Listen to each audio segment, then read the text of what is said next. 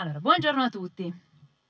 Io vi porto un breve, brevissimo aggiornamento su un tema che era inserito nella scaletta della giornata di oggi che riguarda la sperimentazione animale.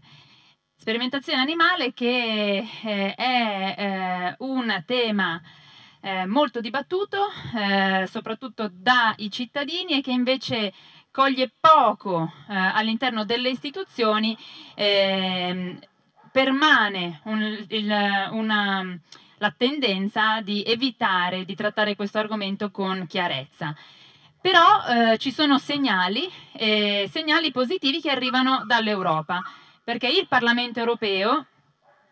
non la Commissione, non il Consiglio, che sono gli altri due grandi attori soggetti dell'Unione, ma il Parlamento europeo, che come sapete è l'unico organo direttamente e democraticamente eletto dai cittadini, si è fatto portavoce di quelle che sono le battaglie dei cittadini su questo tema. Ed ha recentemente, e di questo, recentemente di questo vi voglio parlare, votato una eh, importante risoluzione che chiede eh, di eh, non soltanto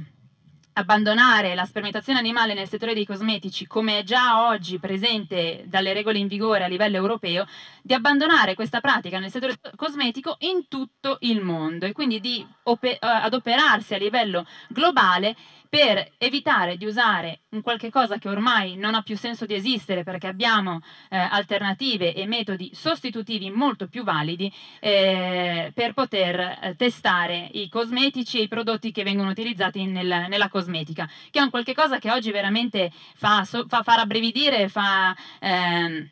fa veramente eh, eh, impressione pensare che possa essere una pratica ancora utilizzata. In Europa è vietata, è vietata dal 2009 con degli ulteriori eh, divieti a partire dal 2013, ma è pur vero che esistono molte possibilità di aggirare la norma e molte possibilità appunto di avere scappatoie. Questo perché eh, alcune delle sostanze che vengono utilizzate nel settore dei cosmetici può, potrebbe essere testata comunque su animali perché potrebbe essere una sostanza utilizzata in altri eh, ambienti, in altri... Ehm, per altri utilizzi, pensiamo a detergenti o piuttosto eh, prodotti per la pulizia, piuttosto che eh, altre eh, fattispecie di utilizzo di sostanze chimiche e che quindi lo stesso ingrediente possa essere testato anche eh, secondo altre norme, il regolamento REACH in particolare, eh, sulle sostanze chimiche. E quindi questa è la prima scappatoia, il primo, ehm, il primo motivo per cui eh, eh, questo divieto dovrebbe diventare non solo estendersi ad altre categorie di prodotti, ma dovrebbe diventare globale anche perché eh, non soltanto, ehm, anche perché il, il, vero problema anche è eh, che molti prodotti, sappiamo bene, possono venire testati in altre parti del mondo e poi importati in Unione Europea. E i controlli eh, che vengono fatti su queste importazioni spesso lasciano un po' a desiderare o quantomeno nella scheda prodotto che dovrebbe riportare tutte le indicazioni precise su dove e come sono stati effettuati dei test, a volte è molto carente.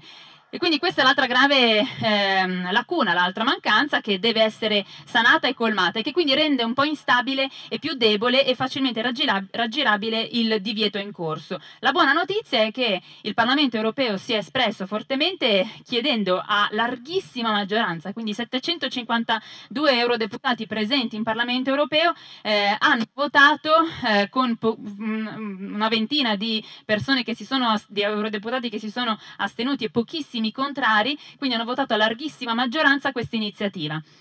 che quindi chiede, tenterà di chiedere a livello globale, in particolare eh, in sede di Nazioni Unite, quelli che saranno i prossimi appuntamenti a livello eh, internazionale, di mettere in agenda questo, questo, questo divieto per eh, appunto rendere più solido il divieto che è già in piedi a livello europeo e renderlo davvero efficace e diffonderlo in tutto il mondo. Questa è una bella notizia eh, che però si va ad affiancare a quelle che sono appunto tutte le criticità che il ancora permangono in questo campo perché sappiamo che la sperimentazione animale è comunque utilizzata in altri settori, eh, non soltanto ovviamente quello della cosmetica, ma soprattutto a livello tossicologico, farmacologico e di test per tutta una serie di ulteriori sostanze che sono oggi testate che, eh, per, per, le quali invece si deve necessariamente andare verso eh, l'utilizzo di eh, tecniche alternative.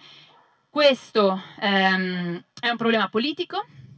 perché la scienza già oggi ci dà molte soluzioni, molte possibilità di abbandonare, eh, questi, eh, abbandonare l'anim l'animale, il modello animale come modello per eh, appunto testare questi prodotti. Eh, quello che è ormai eh, riconosciuto è non appunto a livello politico ma da, parte, da buona parte anche della scienza è la non predittività dei test sull'animale perché il modello animale non consente di avere dei risultati che possano essere agilmente, velocemente, facilmente applicabili all'uomo. Siamo eh, esseri umani diversi, con, ehm, eh, siamo esseri viventi diversi, con caratteristiche diverse ed è il motivo per cui una scienza vera oggi, non domani, oggi dovrebbe partire da una... Ehm,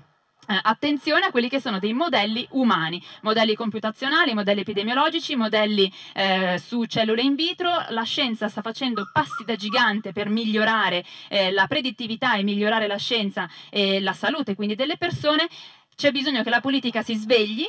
e cosa che deve fare la politica, il vero ruolo che deve fare la politica, oltre a dare gli indirizzi, oltre che mettere delle regole, deve mettere i soldi. Ed è l'altra grande eh, cosa che... Eh, purtroppo manca in questo, in questo ambito eh, c'è una tendenza appunto a eh, non ehm, eh, indirizzare le risorse economiche nel modo giusto, tentando di mantenere in piedi quello che è una pratica ormai vecchia, invece che appunto stimolare quella che è già oggi una forte innovazione, ma che deve essere necessariamente diffusa, perché molto spesso una buona idea, una buona eh, innovazione che si è, si, è, si è, testato, si è valutato eh, possa portare dei grandi benefici, rimane chiusa in un cassetto, in un cassetto di un centro di ricerca, di un laboratorio laboratori non viene diffusa. In questo purtroppo una grande colpa hanno, la hanno anche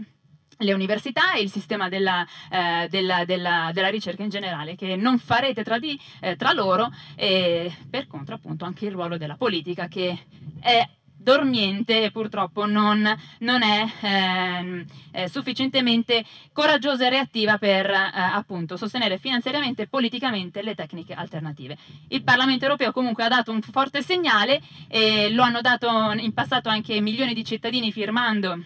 la ICE Stop Vivisection, eh, le iniziative sono tantissime e il Movimento, il Movimento 5 Stelle da sempre è su, questa, su questo fronte, su questa battaglia, la combatte con grande determinazione. Grazie.